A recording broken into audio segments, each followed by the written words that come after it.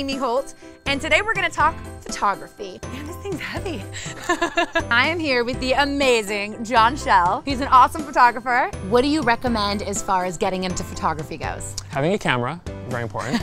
you can start with literally anything. Uh, I know some people who do very well just using their iPhones. And then from that point, just practice as much as you can. Uh, find some people who are willing to be your subjects and just shoot them as much as you can until you annoy them. And then find some other people and shoot them until you annoy them. Uh, is there any recommendations you have for photographers to find models? For me, Instagram has been huge in doing that. Um, luckily, I'm, I'm at a point and I'm living in a, in a town where there are models pretty much on every corner, hanging out. If you're not in any one of the major fashion hubs, LA, New York, Miami, etc., Facebook is a great place to find aspiring models. Okay, as far as uh, beginner photography tips, any do's or don'ts? I mean, what's going to happen when you start is you're going to want to shoot everything and anything in any kind of style you can possibly imagine.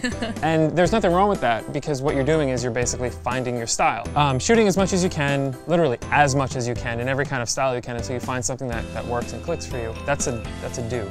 A don't would be, I don't know, don't do drugs. I don't, don't do drugs. Yeah.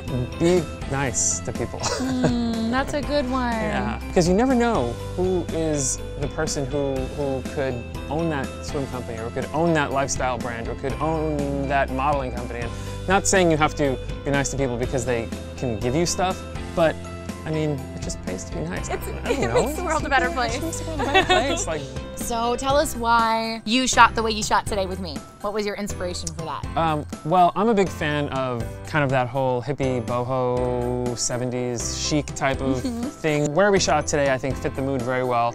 The wardrobe matched, which I think is important to have your, your mood match your wardrobe, match your location, match the mood.